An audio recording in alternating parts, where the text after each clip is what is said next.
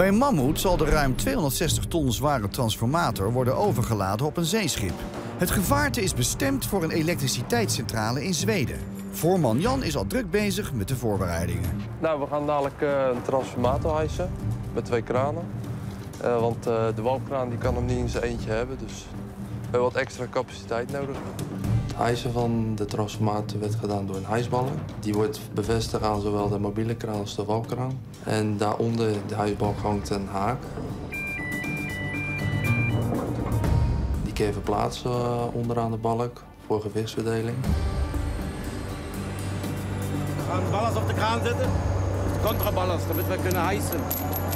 Ja. Eén ballastplak is 10 ton. En in totaal zitten 120 ton op. En die gaan nou aan de achterkant van de kraan worden die nou opgehangen. De twee kraanmachinisten nemen het hijsplan nog eenmaal zorgvuldig door. Jij hebt, uh, die kant heb jij. Dan gaan we even zo draaien. Hoewel de mannen van Mammoet gewend zijn om de meest extreme hijsopdrachten uit te voeren, nemen ze geen enkel risico. Met dit soort klussen moet je altijd met alle mogelijke scenario's rekening houden. Maar uh, kijken waar de sluiting uh, vastgemaakt wordt. En dan kunnen we bevestigen. Kijken. Wij zijn sterker als een mobiele kraan. We zitten verder weg van het middelpunt. Dus hun krijgen minder gewicht in de kraan als deze kraan.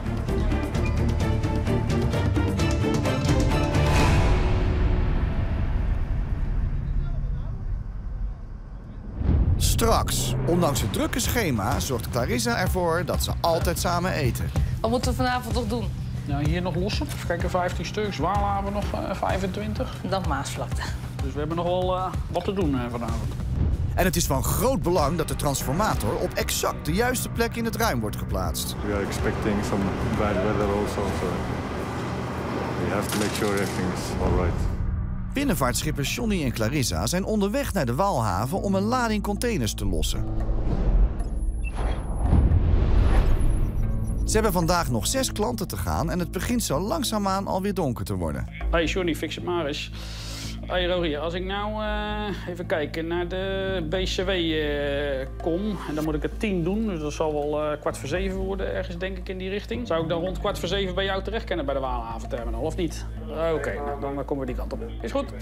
Oké, okay, yo, hoi. We zijn te laat, door, door storm is dat gekomen. Ja, dan, dan worden alle terminals, die zitten dan eigenlijk op hun eigen tijd die ze moeten lossen.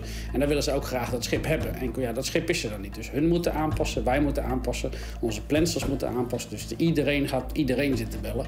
En dat is eigenlijk dan, uh, ja, dan wordt het soms best, uh, best, best wel uh, druk. Ja, de, die sector Waalhaven, die, die heeft ons net opgeroepen. Van dat er een, een groot zeeschip uit die Waalhaven komt. Zolang het zeeschip de Waalhaven niet uit is, kan Johnny er niet in. Dit betekent extra oponthoud. Maar zeeschepen hebben nou eenmaal voorrang.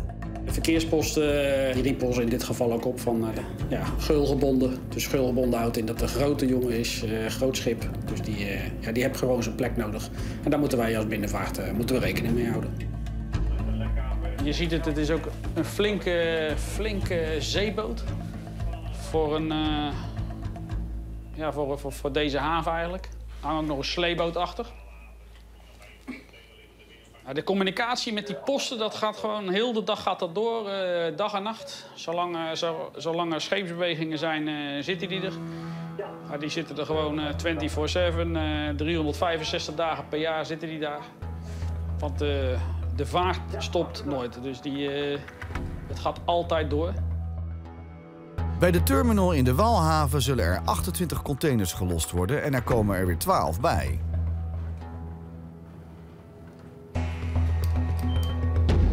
Ziet al uh, dat die kranenman, uh, die komt er al aan. Laat hij daar een touwtje met een, uh, een kokertje zakken. En daar doen wij dan ons stuwplannetje weer in. Als het elektronisch gaat, dan doen we ze mailen. Maar bij heel veel terminals hier in de stad gaat het nog ouderwets met een touwtje en een emmertje. En dan, dan geven we zo het plan. Het zal de hele nacht duren voordat Johnny en Clarissa weer op schema liggen. Ja, goed, ik, eh, ik doe nog eh, één of twee terminals denk ik mee. En dan eh, ga ik een, een tukje doen. Doe ik altijd eventjes een... één of, of ja, zeg maar twee of drie uurtjes even slapen. Dan doe Clarissa, die neemt het dan over. Wat ik ken, dat ken Clarissa ook. Dus dat, dat gaat... kun je het zo één op één kun overgeven. We zijn wel met meerdere eh, mensen aan boord. Dus het slapen wordt bij ons wel eh, verdeeld. Het is eh, niet zo dat we alle twee eh, zeggen van we gaan om tien uur naar bed en we komen s ochtends om acht uur eruit.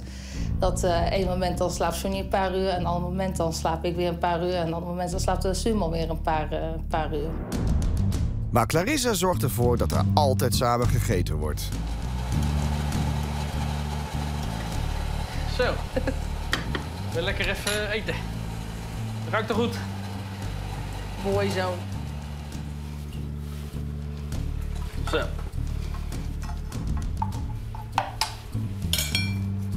Nou, eet smakelijk. Ja, eet smakelijk.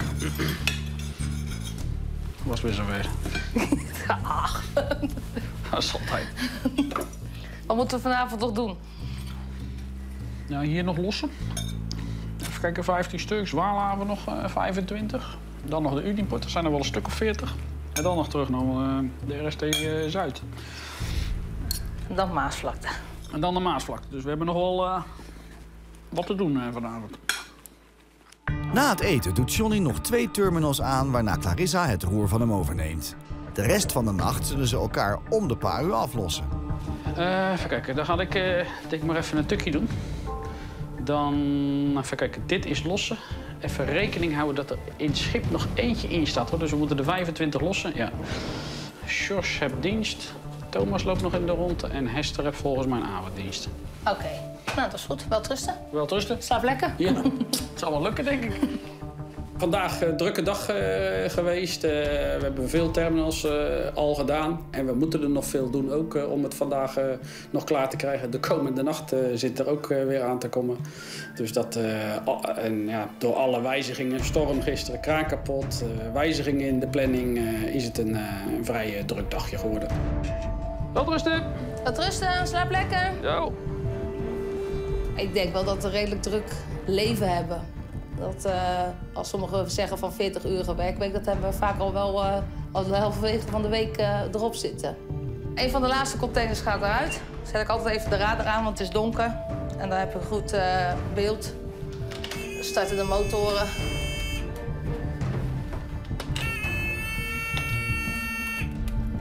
En dan kan het personeel straks eh, los gaan gooien.